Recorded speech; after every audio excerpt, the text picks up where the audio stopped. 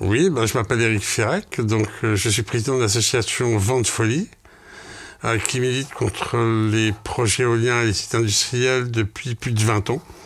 Créée en 2003, elle s'est créée à l'origine pour un projet éolien qui avait lieu sur l'Angonette à une époque où il y avait plusieurs parcs sur toute la, région Bretagne, Gourin, Le Saint, Pouret, partout.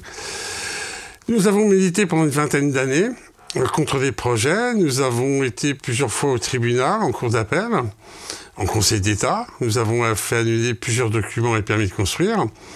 Et en l'occurrence, nous avons fait annuler beaucoup de permis de construire pour les co-visibilités avec les montagnes noires. Montagnes noires qui sont omniprésentes donc sur Gouin et sur les lignes de crête, notamment que les cours d'appel qualifient donc de un intérêt patrimonial national fort, de sites remarquables, de paysages emblématiques. Et donc aujourd'hui, bah, on est très étonné de voir un projet éolien venir s'inscrire au piémont des montagnes noires. Jamais un projet ne s'est vu aussi proche des montagnes noires, notamment un projet de grande envergure, parce que c'est des machines qui vont faire donc 200 mètres, donc qui vont venir dépasser les crêtes des montagnes noires entre 60 et 80 mètres, puisque à l'endroit où elles se situent, c'est-à-dire entre les chapelles de Saint-Nicolas et de Saint-Hervé, pour ceux qui connaissent ce secteur, à moins de 500 mètres de l'usine Ardo, puisque l'usine Ardo se trouve donc dans le périmètre euh, rapproché, ces éoliennes vont dépasser de 60 à 80 mètres les crêtes des montagnes noires. Alors, ce projet est très bizarre, parce que depuis 20 ans, plus de 20 ans, c'est la première fois qu'un tel projet a fait si peu de publicité. À savoir que le porteur de projet n'a jamais voulu communiquer. La seule communication a eu lieu un jour sur le marché, comme quoi c'est bien des marchands de vent, puisque c'est le seul endroit où on arrive à communiquer, donc on vend du vent. Donc c'est normal que ça aille au marché. La municipalité n'a souhaité en aucun cas communiquer donc depuis l'initiation du projet. Or, le maire Hervé Floch, dans le dossier qui est, qui est présent en mairie, est signataire de trois fois des documents euh, représentant la mairie pour les impacts, pour les démantèlements, pour les accès. Donc le maire était au courant, la municipalité au courant, mais personne n'a communiqué. La communauté de communes, bon, c'est pas elle de communiquer, et le porteur de projet, la municipalité aurait pu communiquer, puisque c'est un projet qui va voisiner quand même entre 17 et 20 millions d'euros, à moins que c'est très fréquent qu'on ait des projets de 17 à 20 millions d'euros à loin. Je pense que ça aurait pu fait au moins faire part de, communication de presse ou de suivi. Dans les communes environnantes, moi j'arrive de Langonette, le porteur de projet envoyait une lettre d'information à la population au fur et à mesure de l'avancement de son projet pour dire les étapes. Ici, rien. Le projet arrive aujourd'hui en enquête publique qui est déjà bien démarrée, puisqu'elle a démarré donc le 2 septembre, elle finira donc le 2 octobre à 16h30. Et donc les panneaux d'affichage sont à l'endroit de la RD 69 en contresens de circulation, il faut sortir de sa voiture pour aller les voir. Il n'y a vraiment pas de communication de la part de personne. La seule communication qui a eu lieu a été faite de la part de l'association à l'ouverture de l'enquête publique. Il y a trois éoliennes. La première éolienne va faire en, en 150 mètres. Elle se situe au piémont des montagnes noires, carrément contre le flanc. La deuxième se situe entre Carnon et Saint-Hervé, fera 160, 180 mètres. Et la troisième éolienne, qui est la plus près de Guerner, fera, elle, 200 mètres. C'est-à-dire qu'on va aller voir 150, 180 et 200 mètres. Donc trois machines différentes. Donc la jurisprudence constante a été par rapport aux 293 mètres euh, de, à nous à l'Anglonnette de la crête Saint-Joseph ou des crêtes des montagnes noires. Or ici, les crêtes ne font à Gouin que 260 mètres. Donc comme l'éolienne va faire 200 mètres sur un sol de 160 mètres au-dessus du niveau de la mer, ça les fera culminer à 360 mètres, soit le dépasseront d'environ 100 mètres la ligne de crête de Gourin au niveau de Saint-Hervé. Alors ce site éolien qui se situe dans les sources du Sterler, déjà donc il y a une atteinte aux eaux humides, va traverser le Sterler qui est un confluent du sage gelé, donc il y a un impact sur les eaux humides, il y a un impact après sur la biodiversité, sur les oiseaux, sur la vie faune, sur le, les chiroptères. Au niveau de l'homme, vous aurez avoir des nuisances visuelles fortes, euh, puisque dans ce paysage, elle va être marquée, ils vont complètement modifier notre paysage.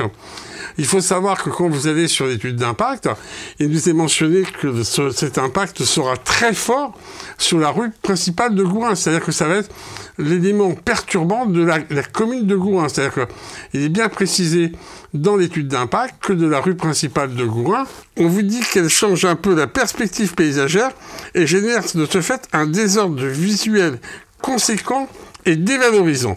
C'est pas moi qui le dis, c'est la DDTM, donc c'est l'administration, que l'impact sera fort sur la commune, sur la ville de Gourin, et sur le paysage en contrefort. Il faut savoir que des instances donc euh, décisionnaires euh, ont émis des avis qui étaient défavorables ou qui ne vont pas en faveur de ce parc. Bah, quand on prend l'étude acoustique dans le dossier, on voit que les éoliennes seront entre 100 et 106 décibels, ce qui est une puissance acoustique très forte, très très forte, puisque c'est le seuil d'autorisation pour les concerts, euh, pour vous donner le, genre de bruit que cela peut faire. L'atténuation avec le contrefort pourrait revenir donc sur les villages environnants, y compris sur les communes, sur Guerner, sur Saint-Hervé, sur Carnan. Tous ces secteurs-là vont être directement impactés. Les bruits des machines ont une résonance très forte, surtout que le bruit va être bloqué avec le contrefort, et il y aura une résonance. Surtout qu'on est en zone humide, donc il y aura une résonance et des vibrations par les zones, intérieures. Alors, il faut savoir que en étant euh, objectif, même l'ADEME reconnaît que les pertes immobilières vont jusqu'à 5 km au rayon du parc. C'est l'étude des parcs immobiliers, immobiliers, au lien de l'ADEME, qu'il faut, après 5 km, on peut estimer que ça va décroître. Mais dans les 5 premiers kilomètres, ça aura un impact négatif.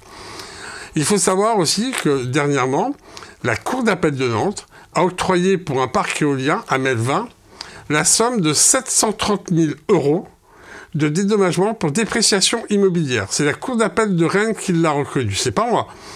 Donc c'est en ce moment, ça a été jugé par la Cour d'appel à Rennes, c'était pour le parc de Melvin. Donc après, il faut savoir que donc, pour l'impact au paysage, euh, le promoteur ici présent donc, euh, a déjà eu à croiser avec moi les tribunaux, puisque pour Glomel, euh, il a perdu son procès en cour d'appel, il n'a pas pu aller au Conseil d'État.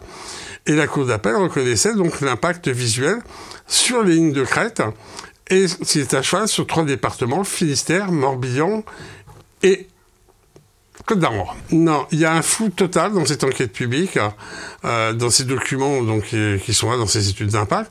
On ne parle pas des perturbations radioélectriques, des radiofréquences, on n'en parle pas.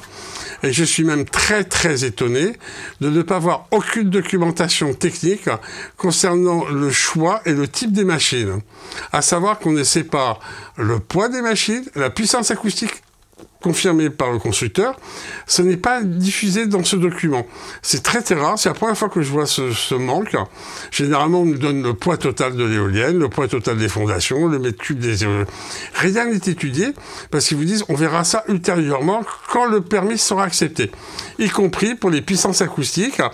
Euh, L'ARS émet un doute et demande une campagne de mesurage en disant il faudra tout de suite faire une campagne de mesurage de façon à ne pas avoir de nuisance acoustique supérieure à la loi. Donc, mais ça, c'est toujours pareil parce que nous, on rencontre ce problème-là très fréquemment. Et un an ou un an et demi après, les gens ne dorment pas, ne vivent pas parce que les puissances acoustiques ne sont pas faites. Souvent, on se fait mettre les machines en carence et on demande à ce qu'elles soient arrêtées la nuit. Pour l'instant, on en est au balbutiement pour les nuisances électromagnétiques en France. On demande dans toutes les études d'aller plus en avant, de recenser les troubles de façon à les répertorier, de façon à apporter des, des solutions. Mais il y a une troisième chose que vous n'avez pas abordée ici, c'est la nuisance visuelle de nuit avec les flashs lumineux. Parce que donc elles font l'objet d'un balisage lumineux de nuit, et donc qui va venir dans les maisons, partout autour. Et ces flashs, ce balisage lumineux, je vous invite à aller voir sur les parcs existants. Qu'est-ce que cela représente pour les gens qui sont à 500 mètres? Ils vont vous dire, on n'arrive pas à se calfeutrer entre le bruit et ces flashs lumineux, on a du mal. Alors, il faut savoir qu'à ce jour, le secteur où ça sera implanté étant d'une SNIEF de type 2, zone d'intérêt naturel forestique de 2, avec une SNIEF de type 1, est situé limitrophe avec un site Natura 2000, dont une éolienne implantée dans Natura 2000. Donc l'implantation qu'il va y avoir va toucher et perturber les oiseaux, les amphibiens, va toucher aussi les chiroptères, puisque c'est reconnu, avec des impacts forts sur certaines chauves-souris. Donc il y a un impact qui n'est pas euh, amoindri. Euh, ni compenser du reste. Parce que au niveau des zones humides, il faut savoir que les fondations, bon, c'est des, piscines de béton, euh, vont permettre d'avoir euh, une résonance, déjà par leur poids, parce que c'est quand même quelque chose comme 6000 tonnes de béton qui va être coulé. Il faut quand même savoir que ça arrive directement dans des zones humides. sur des zones où il y a des sources, quel va être l'impact sur les sources euh, Ça n'a pas été quantifié dans les études d'impact. Faut savoir que euh, si un privé devait porter un projet de telle ampleur, ça serait refusé par les administrations. Et là, pour l'éolien, comme d'habitude, on laisse passer, on laisse passer, on laisse passer. Et ça, moi je dis non, ça ne peut plus durer parce que, si vous voulez, on est très gêné parce que, euh, je vous dis, on est allé plusieurs fois au tribunal sur le même secteur. Et le promoteur ici, donc euh, Kenya de, de, Carré, ne peut que connaître euh, l'histoire, puisqu'il a eu la même histoire de l'autre côté, qu'il a déjà perdu. Et à chaque fois, ça nous oblige à aller au tribunal, au tribunal, parce que le préfet octroie des permis là où les tribunaux les censurent. À chaque fois, si vous voulez, c'est une SAS qui se crée. Donc une SAS, donc c'est une société anonyme simplifiée, qui a un capital. Le capital de la société Energy, donc, est de 10 000 euros, c'est-à-dire rien. Et avec ces 10 000 euros et un projet, ils vont chercher des partenariats qui vont être des promoteurs de machines, des marchands de machines, vont être Kenya qui vont apporter euh, des ressources, enfin euh, des cautions morales sur une SAS de, de 10 000 euros. Avec ces 10 000 euros, il y a un projet via des obligations d'achat, via de la vente d'électricité, ils vont se faire autofinancer donc via les banques vertes, via la, caisse des dépôts de conciliation. Ici, on est sur un autre promoteur qui est le, la caisse des territoires voire le, des actionnaires qui peuvent être les communautés de communes, puisque la communauté de communes peut être partie prenante pour un montant sur ce projet, voire la SEM, la Société d'énergie mixte du département, qui peut aussi apporter des fonds pour ces cautionnements-là. Par l'Europe, je, je, ne sais pas si subventionné par l'Europe, toujours est-il qu'ils bénéficient donc d'obligations d'achat, mais comme ici, les obligations d'achat, normalement, c'est toutes ces machines, dans le projet, c'est-à-dire qu'ils vont être obligés de faire des démarches supplémentaires parce qu'ici, on est sur un parc de trois machines, mais que tous ces montants, tous ces financements, euh, ces dossiers de financement ne se feront que lorsque le permis sera accepté, parce qu'ils ne peuvent pas anticiper s'il sera accepté ou pas, et de ce fait, pour l'instant, il n'y a aucune garantie financière qui sera déposée. Alors, il y a différentes taxes qui retombent au département, à la communauté de communes, et à la commune. Euh, la communauté de communes ici a décidé de reverser 50% de la taxe communautaire à la commune recevant le parc éolien, ce qui fait que la commune de Gouin touchera une enveloppe. La seule information qu'elle vous dit, c'est que éventuellement, elle va pouvoir bénéficier d'une obligation d'achat qui va rendre le parc viable. C'est la seule chose qui peut nous être donnée, c'est que s'il n'y a pas d'obligation d'achat, ou alors sur la revente sur le marché européen d'électricité. C'est deux, mots que moi je retiens. C'est que l'électricité est prévue à une revente sur la bourse européenne et que de l'autre côté, elle devrait bénéficier d'une obligation d'achat. Si elle n'a pas d'obligation d'achat, elle serait obligée d'être vendue au prix marché et de là, la rentabilité risque de n'être plus la même. Alors il y a deux moyens. Pour l'instant, il y a deux moyens. L'enquête publique est ouverte tous les jours aux heures, aux heures de la mairie à Gourin où le dossier est présent et vous avez un registre sur lequel vous pouvez expliquer votre opposition ou si vous êtes favorable au projet éolien. Euh, vous pouvez toujours communiquer. Ça, c'est la première partie. C'est en mairie, aux heures de la mairie, tous les jours, jusqu'au 3 octobre, 16h.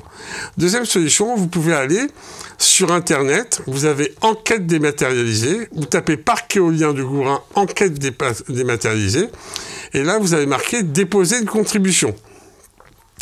Vous pouvez écrire et ça rentrera pareil comme une contribution si vous êtes favorable ou pas. C'est les deux seules façons que vous avez aujourd'hui de vous manifester pour ou contre ce projet éolien sur la commune de Gouran. En expliquant. L'idéal pour moi, parce que bon, je suis quelqu'un de très honnête, hein, c'est de ne pas le faire en anonyme. C'est bien aussi de laisser les noms pour expliquer pourquoi vous êtes contre ou pourquoi vous êtes pour, votre distance par rapport au parc. Parce que c'est vrai que tout le monde n'aura pas la même sensibilité si on est riverain proche d'un parc ou riverain lointain. Il faut savoir que quand le man mesure s'est monté à Gourin, euh, man mesure sur lequel il n'y a jamais de publicité, ça s'était passé en 2020, ce man mesure était visible à plus de 10 km à la ronde, ne faisait que 80 mètres de haut.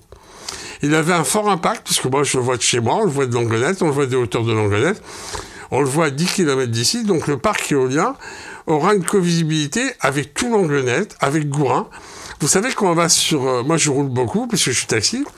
Quand vous allez sur Sker ou quand vous allez sur Quimper, vous voyez le parc éolien à gauche. Ben, quand vous regardez sur une carte, il est à 5 km. C'est à peu près ce que vous allez avoir sur Gouin. Et ils sont plus petites. Il faut savoir que les éoliennes de 200 mètres, c'est réellement des monstres. C'est réellement un monstre qui va arriver là. Donc euh, c'est pour ça que je dis aux gens, moi je fais une portée à connaissance. Il faut savoir qu'il y a une enquête publique, de se prononcer pour ou contre. Et après, c'est trop facile de dire si j'avais su. Mais une fois qu'elles sont montées, elles sont là. Il faut savoir qu'à Guyane, par exemple, euh, ça a bénéficié de 20 ans de combat pour pouvoir les faire démonter. Et on a gagné 20 ans. Mais pendant 20 ans, un promoteur a vendu l'électricité sans permis de construire. Alors ces informations d'enquête publique, vous les aurez en mairie, vous avez le dossier papier, ou alors dans l'enquête dématérialisée que je vous disais sur Internet, vous tapez Parc éolien de Gourin, vous allez sur Registre dématérialisé, vous avez présentation du dossier, et là vous allez avoir tous les documents. Mais je vous préviens quand même, comme l'a dit les administrations, c'est relativement très indigeste. Bah, le message que je souhaiterais faire passer, c'est à l'intention des décideurs, à l'intention des élus, euh, on a la chance de vivre dans un paysage respectueux, propre pour l'environnement. On vit dans un secteur calme. Je pense qu'il est important de le préserver, de préserver cette qualité de vie que nous avons, ces lignes de crête, ce, paysage sur lequel tous les élus jusqu'à présent ont investi dans le tourisme. Vous avez qu'à aller voir dans euh, Roi de Morvan, si vous voulez, vous avez un site de, de grande randonnée sur les crêtes, sur les ardoisières, sur ça d'aller défigurer pour trois machines, je suis quand même très interpellé. Je suis, moi, ce qui m'a très interpellé aussi dernièrement, c'est que j'ai rencontré un élu de la commune de Gourin. J'ai demandé s'il avait été voir l'étude d'impact. Non. Les élus vont avoir à se prononcer sans aller voir cette étude d'impact. Je vous assure qu'il y a un dossier dessus avec les avis de la DTM qui sont négatifs. Et, les élus qui n'auront pas lu vont se prononcer sur des, sur, sur des études qu'ils n'ont pas lues, sur des dossiers qu'ils n'ont pas lus. Je suis très inquiet parce que je me pose la question jusqu'où on élit des gens pour venir modifier profondément les 20 ans de notre vie? Des gens ont fait le choix d'investir ici, de vivre ici, de mettre leurs enfants à l'école ici. Et aujourd'hui, ils n'ont même pas le droit à ce minimum qu'on appellerait l'information c'est pour moi monstrueux. Vous savez, pour vous donner un ordre d'idée, le, radar que vous avez à Saint-Goisec, Roudoualec, sur la ligne de crête, pour vous donner un ordre d'idée, ne fait que 36 mètres. C'est-à-dire que les éoliennes vont dépasser trois fois ce qu'on voit là-bas. Et le diamètre n'est pas le même. Ça, c'est le diamètre du mât que vous voyez là, le, radar, le. Il faut se rendre compte de ce que c'est. Euh, je ne vois pas l'intérêt de la municipalité d'aller profondément modifié l'aspect paysager de ces cadres de vie. Les crêtes des montagnes noires sont reconnues partout. Et je suis heurté de voir laisser faire ce genre de choses. Et je suis pas un empêcheur de tourner en rond, je suis, euh, je, me pose réellement des questions. Sachant que ça génère ici pour nous au centre-Bretagne zéro emploi. Vous savez, la contribution, vous avez une contribution qui est la contribution numéro 2 euh, de la part des établissements scolaires qui vous disent que ça va générer du travail pour 6 personnes pour 5 mois. C'est ça la création d'emplois qu'on a? 6 mois, 6 personnes, 5 mois. Et nous, c'est 20 ans pour les, riverains, c'est 20 ans pour la commune, c'est 20 ans pour le bruit, c'est 20 ans pour les gestions des problèmes. Si les gens veulent rechercher des finances, moi je comprends que les élus recherchent des finances, que les dotations au PC. Mais vous savez, avant de rechercher les finances, quand vous prenez euh, un document que moi j'ai trouvé quand même très alarmant, qui est quand même le document de la Cour régionale des comptes, qui date donc de 2022. Donc il y a la Chambre régionale des comptes en 2022 qui parlait donc de roi communauté comme Morvan et qui vous disait donc que la soutenabilité de ces investissements était très étonnante puisque ils identifiaient tout simplement que les investissements à l'horizon 2028 prévoyaient 19,68 millions d'euros de, dépenses, mais n'avaient identifié que 6,6 millions de recettes, et qui terminaient par la faiblesse de la capacité de l'épargne conduit à se poser la question de la soutenabilité des investissements. Donc si pour désinvestir, on est obligé de défigurer nos paysages et d'aller euh, nuire à nos populations, pour se faire plaisir, il faut se poser la question vous savez, c'est pas pas anodin quand même. C'est euh, ce genre de choses. Vous savez, moi je vois souvent des, des, choses. Par exemple, dernièrement, vous avez eu la, la ressourcerie qui a été inaugurée en grande pompe par la communauté de communes, un chantier qui a fait un million d'euros où on vous dit grosso modo qu'il y a 400 000 euros pour la région, 300 000 euros pour le département et 400 000 euros pour la communauté de communes. Mais moi, je répondrais tout simplement, c'est 100% de l'argent du contribuable que je suis, parce que je paye l'impôt pour le département, je paye l'impôt pour la France, pour la région, et je paye l'impôt pour la communauté de communes. Donc quand on prend un investissement ici, c'est un investissement 100% citoyen que je suis qui paye de l'impôt. Qu'on me dise, ouais, mais c'est une dotation, c'est une, une, subvention, il n'y a pas de planche à imprimer les billets. Il y a 100% du contribuable que je suis. Et aujourd'hui, tout le monde connaît la capacité financière de notre pays. Et les gens devraient se poser des questions. Aujourd'hui, les intérêts que vous avez, y compris dans l'éolien, ne sont pas des intérêts français. Aujourd'hui, on a tout à perdre. On a une électricité flambante qui augmente sans arrêt, sans arrêt, pour compenser, pour compenser, pour compenser. Vous savez, c'est pas anodin. La prise de position commence au paysage, elle peut finir au niveau économique, national ou européen. Et c'est ça que moi j'essaie d'alerter, que les gens prennent conscience. Qu'est-ce que c'est que l'électricité? Vous savez, l'éolien, il euh, faut savoir que l'électricité, c'est une source d'énergie qui ne se stocke pas. L'électricité, ça ne se stocke pas. Donc quand vous appuyez sur un bouton, il vous faut quelque chose en direct. Donc si le vent ce jour-là n'est pas là et que vous comptez sur l'éolien, bah, vous aurez beau appuyer sur le bouton, vous n'aurez toujours pas d'électricité. Donc à partir de là, on est rentré dans un mix. Il faut savoir qu'en Bretagne en ce moment, il y a à peu près 1100 éoliennes et que ça contribue entre 8 et 9% des besoins de la consommation de la Bretagne. Et bien le jour où il n'y a pas de vent, ça contribue à zéro. Parce qu'il n'y a pas de vent. Donc c'est une source aléatoire et intermittente. Et ça, on peut le dire tant qu'on n'a pas de moyens de stockage, l'éolien n'a aucune vocation dans un pays industrialisé.